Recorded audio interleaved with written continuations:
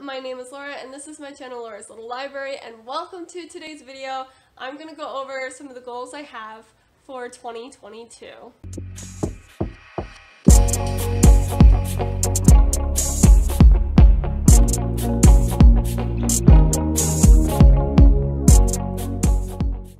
So all these goals are going to be reading related obviously.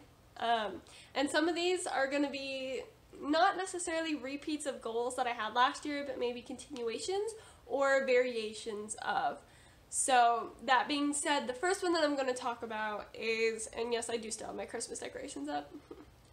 so, the first one that I'm going to talk about is reading more of the books off of my shelf physically. So, I believe last year I talked about wanting to get more of the books that I have on my shelf read so that I had less books on my shelf that I hadn't read before.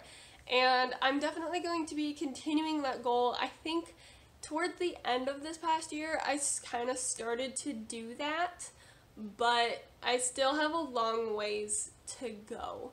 I initially had decided that this shelf was going to be partially TBR and partially books. Like, books that I have that I don't necessarily want to be in my background all the time. Uh, but as you can see, I've changed my filming angle, so that's not always the case. So I might have to rearrange my bookshelves a little bit. But I did also uh, purchase another bookshelf that is living in our bedroom right now. I'm devoting about like a shelf, maybe a shelf and a half um, of space to be my TBR books, so books I want to read soon. Um, so that they're in the bedroom, so that they're right by the bed where I can read before I go to sleep. My, more specifically, my goal when I'm talking about this for this year is to get it so that all the books on both of these shelves are books that I have read, and only books on the shelf in my bedroom are my TBR books. That's getting a lot of books down to like one shelf, but I believe that I can do it if I just sit there and like focus because I want to read all the books that are on this shelf. I do, and if I didn't want to read it, then I got rid of it in an unhaul video, so it shouldn't be here. Um, but yeah, so my goal is to get my TBR physical books onto that one shelf and to have it be much more manageable. And then this way, whenever I buy a book, it just goes straight into my room to be read, and then it can be sorted onto these shelves um, as I sort them by genre, and then similarity within genre and also favorites and a little bit of, of cover aesthetic too. Like these ones are together, not because I love them and they're fantasy, but also because they have light colored spines. But anyway, so that is one goal that I have, um, and a good way that I am going to complete this is that I've started listening to, so I, I listen to audiobooks a lot, and so I'm going to try and focus my audiobooks on books that I don't own that I want to read, and then um, or books that I have on my shelf so I can read them faster. Um, but any otherwise, any like buying of new books is going to be very monitored. So, audiobooks are going to be a great help. But as I've mentioned in previous videos before, my husband has given me a $20 per month limit for book buying. I love that he's booing himself because I agree. Boo! So, as most of you would know, here in the States, $20 is either like one new book, or if I go onto thrift books, I could buy two books, possibly. If they're not new and if they're not hardcover, that might be enough to get two books and then also cover shipping.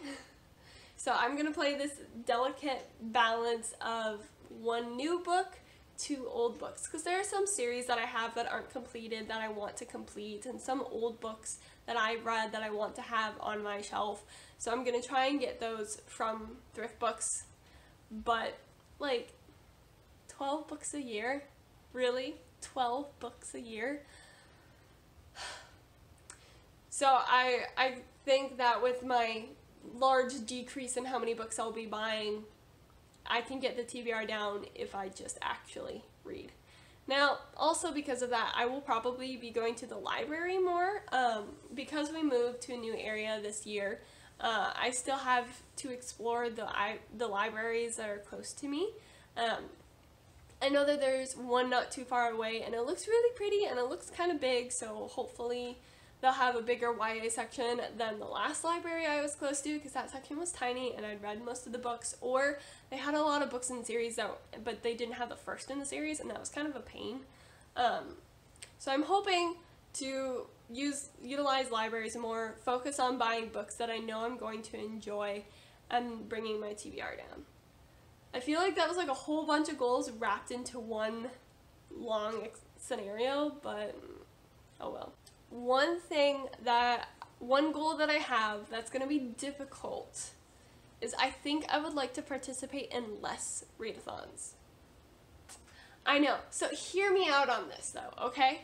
So a lot of the readathons that I've enjoyed participating in on the past have been like these month-long readathons. And that's great, but I but when I do like 5 readathons and that's like 5 months, I just I there's always this pressure in a readathon to like finish the TBR, get points for your team, complete the badge, you know, do whatever. And I and I'm such a mood reader that a lot of times I find myself halfway through the month slowing down or getting into a slump or just being less interested because now I'm reading the book not because I want to, but because I need to and I have to get it done in a certain amount of time. It just kind of takes a little bit of the enjoyment out of it for me. I have nothing against read readathons, okay? Like, I'm saying participate in less of them, not stop completely. Like there are still readathons next year that, that or this coming year, 2022, that I want to do. There are still readathons that I want to do. But I want to not do as many. or you know, I just I want to not put that pressure on myself. Uh, I think all the like week long ones I still very much want to do, but in terms of month long ones, I don't really want to do more than like two or three. Just yeah, I want to see how that affects my reading life. So please don't kill me. still want to know what readathons are out there and I still want to participate, but just not in as many month-long ones.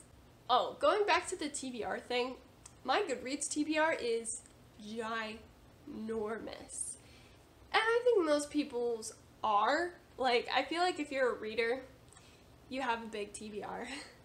but if I pull up Goodreads here a minute, go to my books, under want to read, I have 347. And I mean, for some people that might not be a lot, and for some people that might be a lot, and for others it might be average. I don't know, every person is different. But I would love to bring that number down, which is going to be very, very tricky because every time I watch BookTube, and I watch a lot of BookTube, I'm always adding more books to my TBR. I, I would love to, so in addition to finishing all the books on my shelf, which most of them should be on there anyway, I want to focus more on books that I want, that I have on my TBR, that I want to read. And I have books on my TBR that are like coming out this year. For example, see my video on books that are coming out in the first half of 2022. Because all those are on my TBR. So it's not that I want to read a whole bunch of old books. It's I I just want to bring that number down just a little bit to something a little more manageable, a little more like less intimidating. so I think a lot of the books I pick up, I want to make sure that they're already on my TBR. Again, I still love recommendations and I'll still look for more books, but I am a mood reader, so I have plenty there to choose from. Speaking of Goodreads, I always do set a Goodreads reading goal every year, as I'm sure a lot of you do. This past year in 2021, it was 75 books, and I very much surpassed it. And the year before that was 50 books. For 2022, I would like my reading goal to be 100 books. I think that I can do it, and I think it would be really fun. Uh, I think that, well, my, my goal over the past, like ever since I've been reading, was to always read 100 books. But I knew that I couldn't just start off with 100 as my goal. So I started off with 50, and then I went to 75, and now I think I'm finally pushing through to 100 books as my yearly reading goal. And I think that even next year for 2023, whether or not I complete my goal of 100 books, 100 is always going to be my staple. Because if I read more than that, great, fantastic. If I read less than that, it's not the end of the world. But I think 100 is just a good average for me to have. I would just enjoy that. So I think I think it's a fun goal. It's something to work towards every year, but not like too big and not like constantly growing that it becomes out of hand. So this year and every year henceforth shall be a hundred book reading goal. The next one is I would love to join a book club. I I, I'm not really a part of the book club. When I was in university, I was part of the university book club, um, but since then I haven't really joined a book club. And there are a few here on YouTube that are are nice and like I'm even part of the Discord for, but I haven't like felt like I've been a part of the community for the book club. I haven't I hadn't ever read the book of the month or attended the live show. For some reason live shows are always at bad times for me. Like I don't understand. But I want to join a book club, whether it is one on YouTube that I'm joining and sticking with or if I if COVID allowing there is a physical book club either through like my library or a bookstore or even through another online social media app. I at one point there was another app that I downloaded because I was invited to join a book club, but then they fell apart after two books. Um, I, yeah, so every book club I've joined, I've either had to leave because I graduated, or it kind of fell apart. So I would I would really love to join a book club and to be a part of like a more intimate bookish community. And that kind of leads me on to my second goal of the year, or yeah, my last goal that I'm gonna talk about.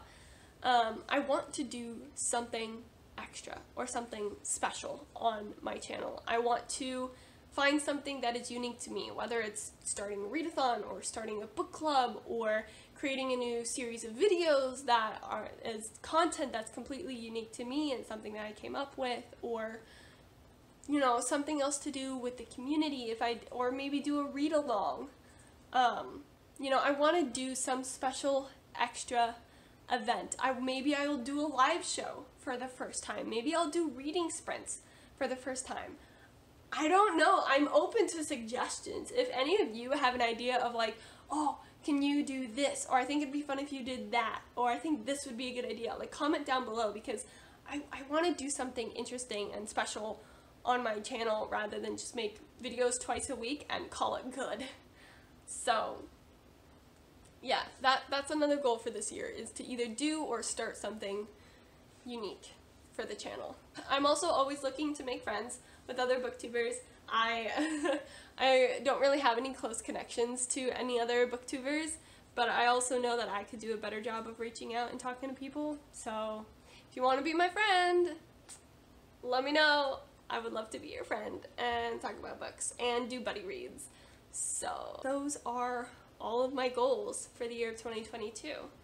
I've got bookish goals, I've got booktube goals. Yeah, that feels right. Alright, thank you all so much for watching. Like I said, if you have any suggestions or if you have any goals that you're trying to reach this year, comment down below. Let me know, like, how many books are you guys trying to read? Like I said, I'm going to try and read 100, which is a new goal for me. Uh, but how many books are you guys reading in a year? Because I want to know. If you like this video, give it a thumbs up. Feel free to click the subscribe button. I make new videos on Sundays and Wednesdays. Hit the bell to be notified so you know when exactly I post. All of my social medias are down below and they're all book themed so you can keep up with what I am reading and what I'm doing in the bookish world. Uh, yeah, and then I can, I follow you back. I will follow you back. um, yeah, until I see you all in the next video, I wish you happy reading.